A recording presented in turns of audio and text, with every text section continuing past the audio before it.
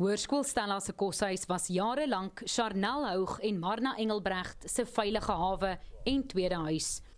Maar dit is ook hier waar die tieners na Vrydag 25 Mei nooit weer lewend sou uitkom nie.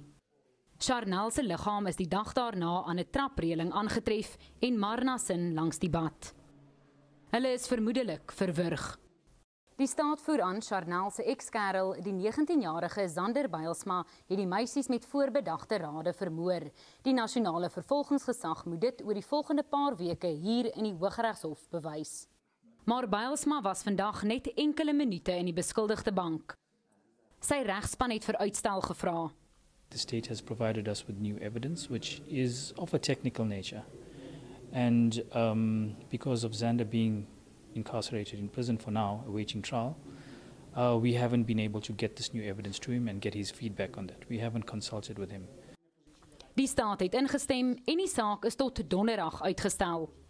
The reason for the remand is to allow his legal representatives to consult further with him.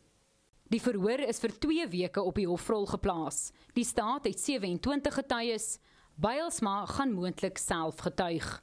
We have no problem putting him onto the witness stand should um, it be required, but at this point we can't say. Um, it will just depend how the trial goes. Mia Spies, Eunice, Mahikeng in Noordwes.